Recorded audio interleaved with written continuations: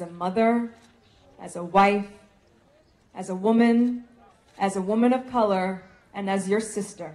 No man is born to cause harm to women. This is learned behavior and a cycle that needs to be broken.